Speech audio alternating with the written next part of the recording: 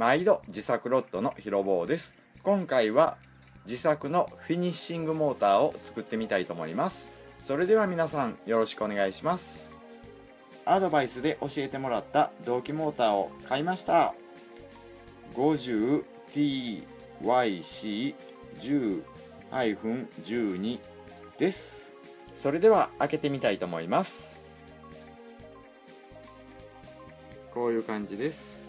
AC100 から 127V 50から 60Hz 4W 10の 12R MIN CCW-CW です。こういう感じです。アドバイスありがとうございました。直径がだいたい 49mm ぐらいです。そしてこっからここまでがだいたい 40mm ぐらいです。20mm ぐらいです。回転するところがだいたい 7mm ぐらいです。フィニッシングモーターの台は100均の工作材料 B の5を使いたいと思います。400×9×150mm です。材質は霧になってます。設計図です。ちょうど B の5が 150mm です。そして半分にします。そしてこちらも 150mm です。モーターを入れる側の板はちょうど 75mm の半分で37.5があれなんですけど3737で半分にしたところです。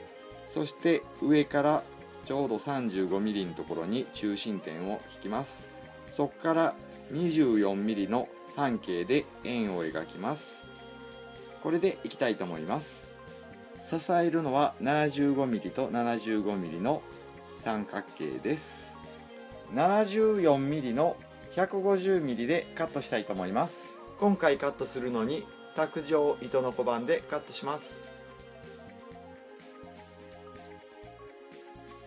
次に 37mm35mm のところをセンターにして半径 24mm ぐらいの円を描きます。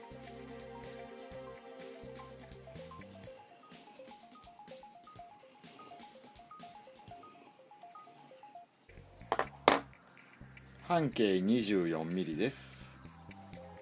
10mm の刃をつけて1箇所穴を開けます。電動糸の小判でカットしていきます。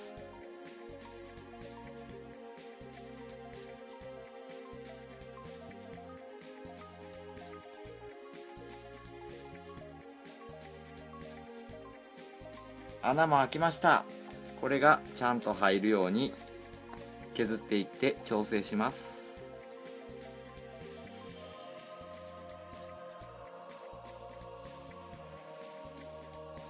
こういう感じでぴったり入りました。やったね。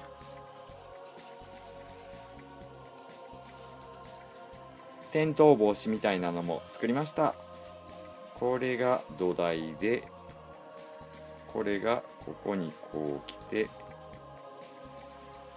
そして三角のがここに来る予定です。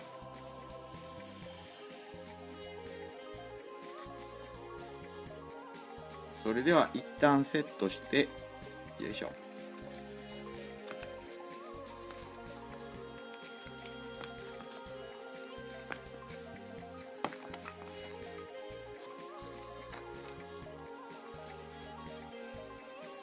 穴を開けたいと思います。こことここですね。2箇所開けます。3mm の刃をつけて開けてみます。穴を開けるときにここが割れそうなのでサラサラの瞬間接着剤でコーティングしておきたいと思います。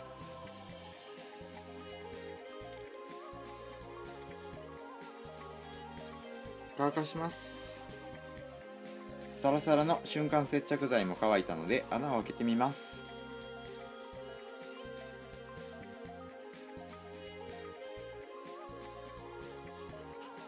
いしょ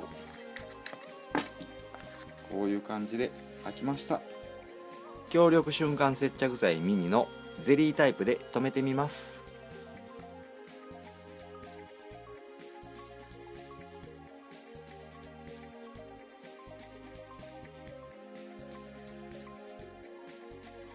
乾かします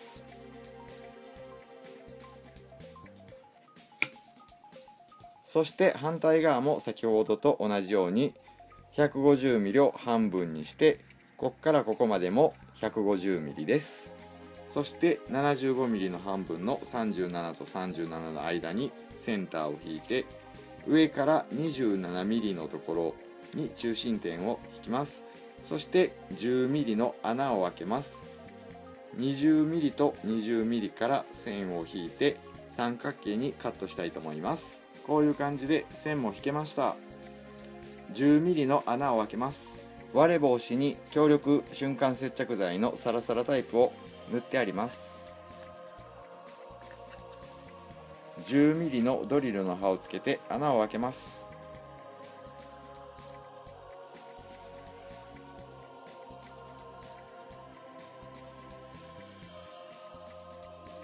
こういう感じでカットできました。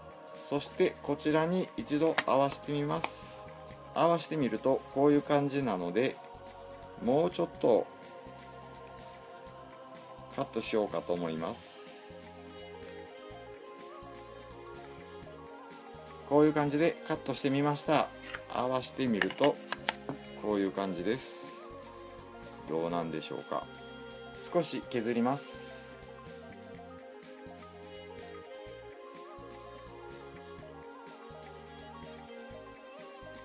こういう感じで削れました。先ほどと同じように強力瞬間接着剤のゼリータイプで留めます。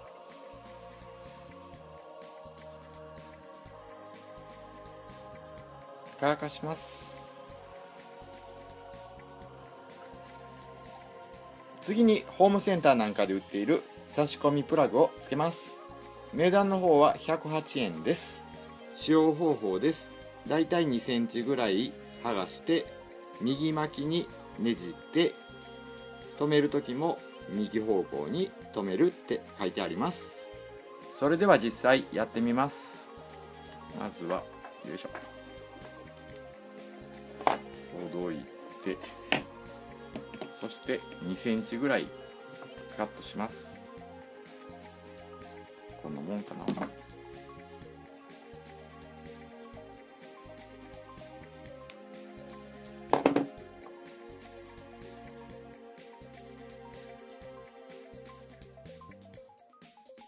だいたいこれぐらいでいきたいと思います。そして右にねじる。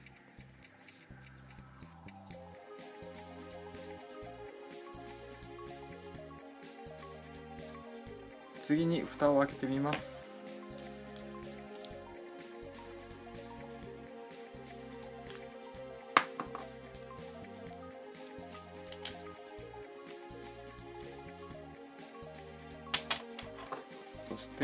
緩めます。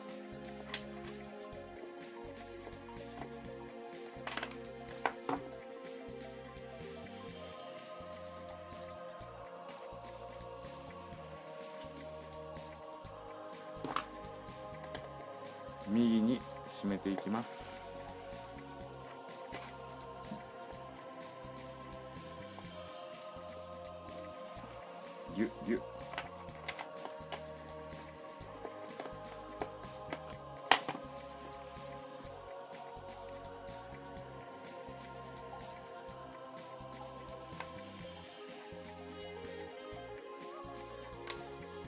また右に締めていきます。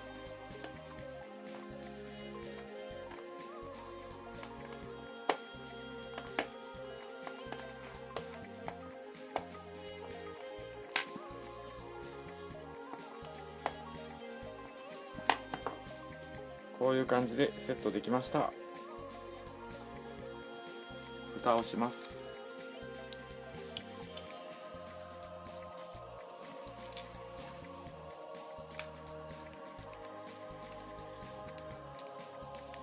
ぎゅっぎゅっそれではコンセントを入れてみます。おお回ってます。こういう感じでゆっくり回ってます。すごい。それでは止めてみます。ボルトは100均のここのボルトを使います。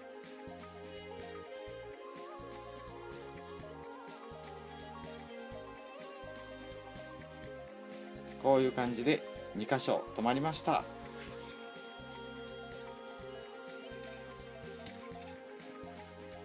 横から見るとこういう感じです。そして立てるとこういう感じです。それでは次にここの部分を作りたいと思います。強力瞬間接着剤の 5g タイプを使います。それとマスキングテープを使います。そしてこれを出します。よいしょ。そしてこちらを外します。そして入れます。カチッと入りました。カチッと入ったのでマスキングテープを留めます。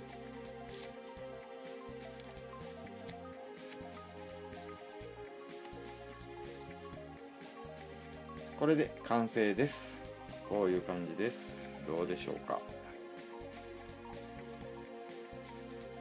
実際にロッドをセットしてみたいと思います。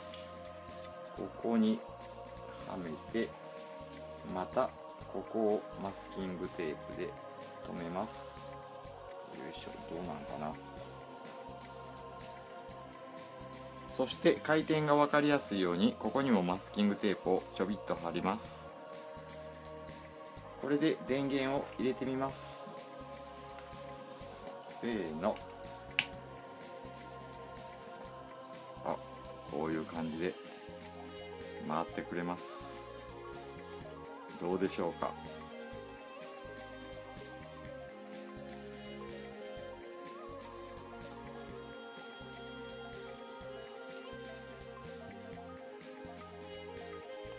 しばらく回してみます。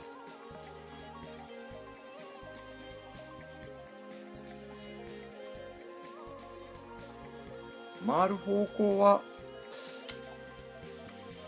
気まぐれみたいです。右回りになったり左回りになったりします。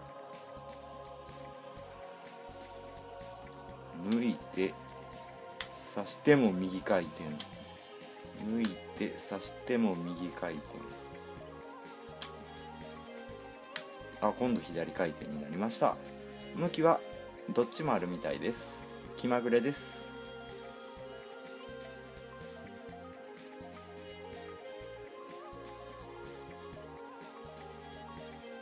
どうだったでしょうか？ここが 7mm パイぐらいなのでアルミ丸パイプの 8mm がちょうど入ります。そしてアルミ丸パイプ 9mm アルミ丸パイプ 10mm をかぶしていくと綺麗に作れると思います。一つ作ってみます。ここでカットします。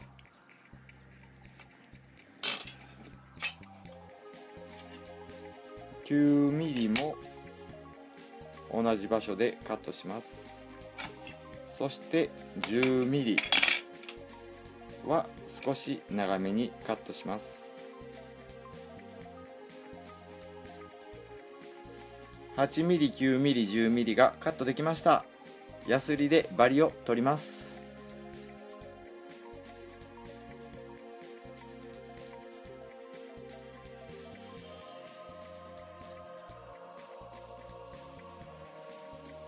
カットできたので瞬間接着剤のサラサラタイプで少しだけくっつけます。乾かします。そして 3mm で穴を開けました。セットしてみます。こういう感じでセットできます。ステンレススティールワイヤー失礼しました。などで留め具を作ります。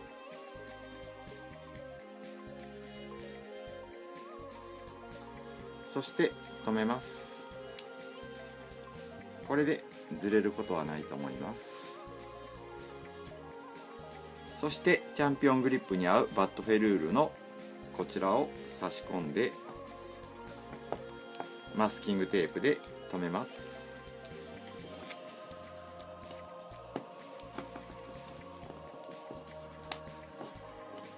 これでしっかり回ると思います。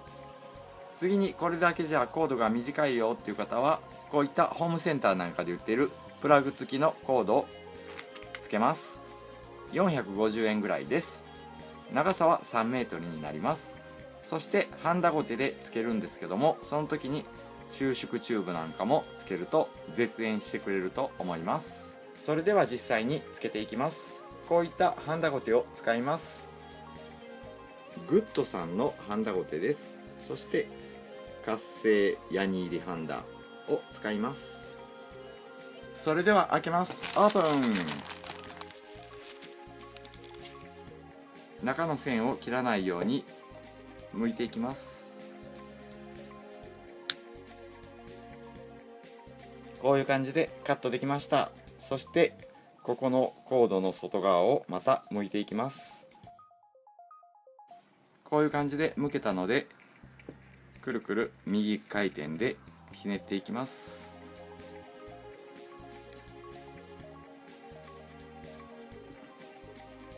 そしてこちらも先ほどと同様に少しだけ皮を剥いて巻いています。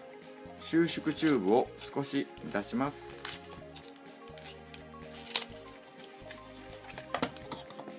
そして適当な長さでカットします。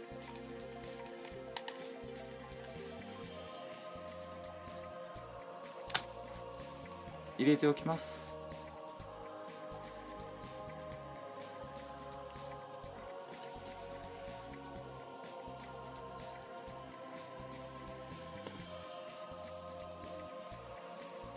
ハンダゴテが温まったので流します。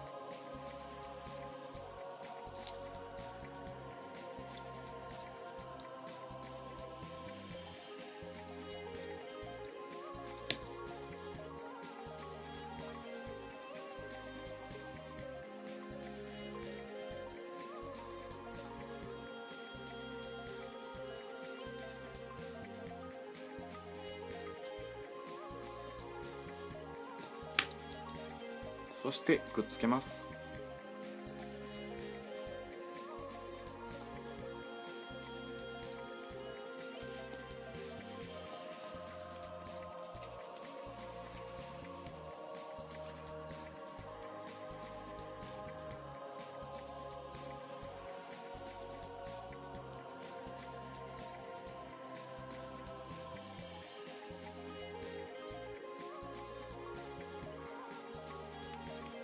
少々引っ張っても離れないか確認します。そして収縮チューブをずらしていきます。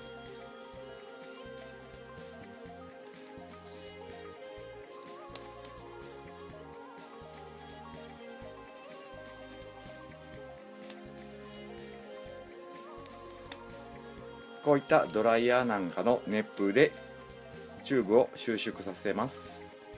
スイッチオン。これでも心配な方はこういった電気用の絶縁テープなんかを巻いておくとさらにグッドだと思います。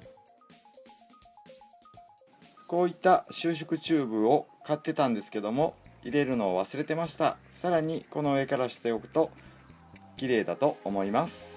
ワッキーリグなんかで使いたいと思います。それでは先ほどと同じようにセットします。動作確認です。電源オン。こういう感じで回ります。やったね。これで簡単バージョンとちょっと手の込んだバージョンの出来上がりです。実際使う時にこういった重りを置いておくとずれにくいかと思います。